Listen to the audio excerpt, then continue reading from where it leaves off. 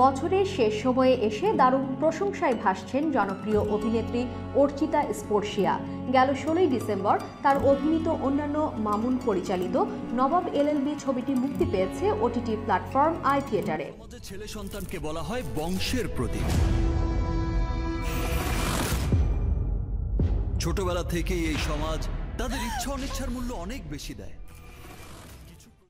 সাকিব খানের সঙ্গে জুটি বেঁধে প্রথমবারের মতো এই ছবিতে অভিনয় করেন তিনি। এই ছবিতে স্পর্শিয়ার অনবদ্য অভিনয় দর্শকের মনে দাগ ফেলে। যদিও মুক্তির পর ছবিটি নিয়ে তার সহশিল্পীরা বিভিন্ন অভিযোগ করেছেন, তবে এই ছবি নিয়ে স্পর্শিয়ার কোনো অভিযোগ নেই বলে জানান তিনি। তার ভাষ্য, ছবিটি দুই কিস্তিতে মুক্তি পাচ্ছে। এটি ছাড়া আমার কিছু বলার নেই। কারণ আগে থেকেই জানতাম এটি একে মুক্তি দেওয়া হবে। গতকালকে হল ভিজিট করেছি।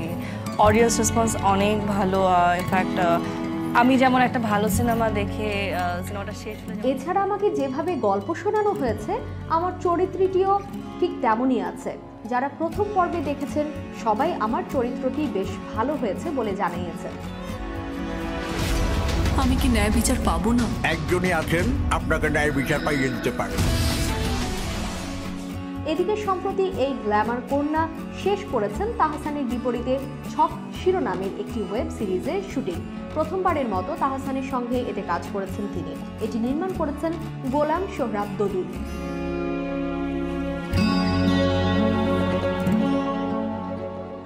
বছরের শেষ কয়েকদিন শুটিং থেকে দূরে থাকছেন জানান।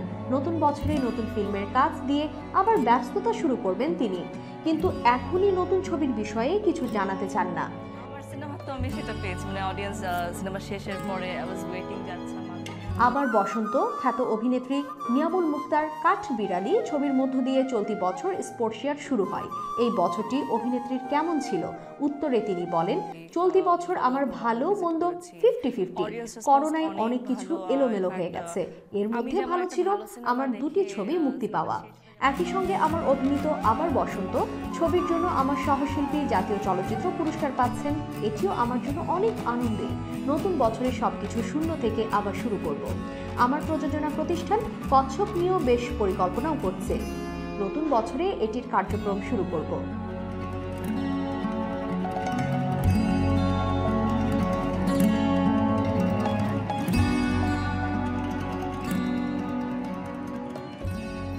দর্শক এতক্ষণ আমাদের সাথে থাকার জন্য ধন্যবাদ।